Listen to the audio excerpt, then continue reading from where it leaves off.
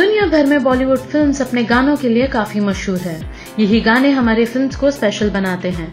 ये सब भी आपके प्यार के उतने ही हकदार है जितने के हमारे एक्टर्स आइए जानते हैं उनके बारे में जो हमारी ज़िंदगी को सुरों से भर देता है। इस हफ़्ते में हमारे चुनिंदा कलाकार हैं ए आर रहमान, जो सिर्फ़ संगीतकार ही नहीं, गायक भी हैं। अपने शुरुआती दौर में ए आर रहमान ने एडवर्टाइजमेंट्स और डॉक्यूमेंट्रीज में म्यूज़िक देने से अपने करियर की शुरुआत की थी। उन्नीस में तमिल फ़िल्म रोजा से उन्होंने फिल्मी दुनिया में अपना पहला कदम रखा। तब से लेकर आज तक उन्होंने कई तमिल, हिंदी और अंतर्राष्ट्रीय फ़िल्मों में अपना संगीत दिया है।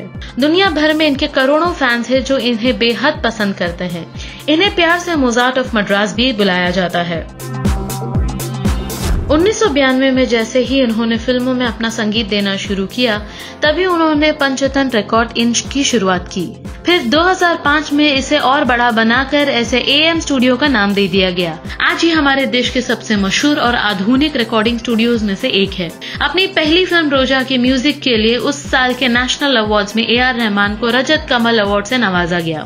इस फ़िल्म के बाद फ़िल्म बॉम्बे में दिए गए उनके संगीत ने उनके नाम पे कई रिकॉर्ड्स बनाए। इसके बाद तो दिल से ताल और रंगीला जैसी फिल्म्स में इनके दिए संगीत की कामयाबी के चलते बॉलीवुड में इनका नाम सबसे बेहतरीन संगीतकारों में शामिल हो गया। 2009 में उन्होंने हॉलीवुड की एक फ़िल्म कपल्स रिट्रीट में म्यूज़िक देने से अपने सफ़र की शुरुआत की और इस सफ़र का अब तक का सबसे कामयाब किस्सा है स्लम डॉग मिलियनियर में दिए इनके म्यूज़िक का। फ़िल्मों में म्यूज़िक देने के अलावा ए आर रहमान काफ़ी और प्रोजेक्ट्स पे भी काम करते हैं। 1997 में हमारे देश की आज़ादी के 50वें साल में ए आर रहमान ने वंदे मातरम रिलीज़ किए थे। वंदे मातरम का ये वर्जन लोगों के दिलों में आज भी ज़िंदा है।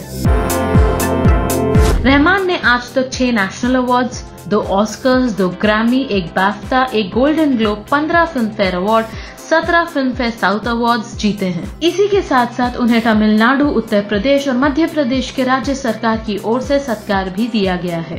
इंडियन गवर्नमेंट ने रहमान को साल 2000 में पद्मश्री और साल 2010 में पद्म भूषण से नवाजा था। इसके अलावा Trinity College of Music, Berklee College of Music और ओहायो में मायामी यूनिवर्सिटी ने अपने सबसे ऊँचे सम्मान से इनका सत्कार किया है। इनके संगीत, इनकी कला लोगों के दिलों को और उनकी जिंदगियों को छू जाती है। रहमान साहब हमें आपके आने वाले संगीत का दिल से इंतज़ार रहेगा। इस फीचर में आज के लिए इतना ही। ऐसे और अपडेट्स के लिए देखते रहिए व्हाट्सएप बॉलीवुड तब तक keep it filmy keep it Bollywood